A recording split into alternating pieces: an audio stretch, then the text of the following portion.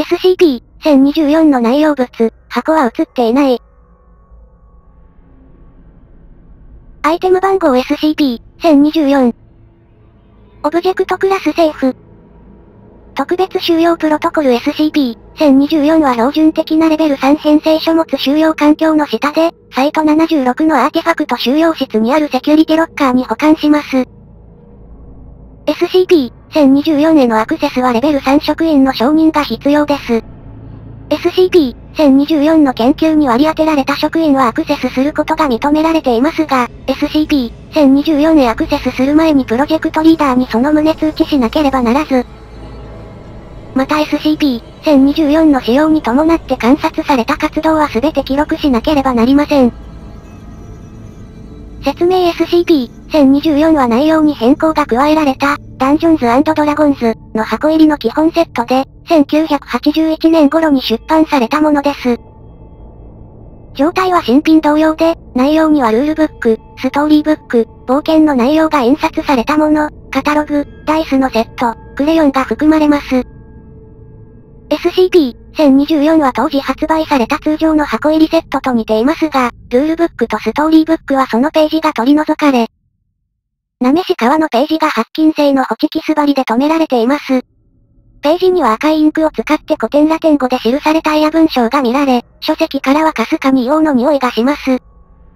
2冊は共に、十分な学習と実践を経て使用できる低級の特殊効果についての基本的知識を紹介しています。ルールブック、SCP、1024-1に指定、は64ページの長さで、これらの特殊効果を呼び出すための基本的情報が記されています。その情報には使用する材料、とその理由、特殊効果を発動する際の適切な場所の選び方、事前に準備すべきこと、問題があった場合の対処方法が含まれます。しかし SCP-1024、1には特殊効果を発動するための手段は書かれていません。ストーリーブック、SCP-1024、2に指定、は32ページの長さで、SCP-1024、1の内容に基づき特殊効果を発動するための手順について記されています。SCP-1024、2で発見された手順に基づいて発動された特殊効果には以下のようなものがあります。保護サークルの形成、SCP-1024、1には他の手順を行う前にこのサークルを出すよう推奨すると書かれています。色や滑らかさなどの物体表面の特性を変更する。周囲の温度をわずかに変化させる。通常は 5°C 程度の範囲内。物体が被った軽微な損傷を修復する。軽い傷を治療する。他者に痒さやくすぐったさのような短時間の触覚効果をもたらす。短時間の間、他者の表面的な思考を読み取る。自然界に存在する小動物、ネズミ以下の大きさ、を呼び出す。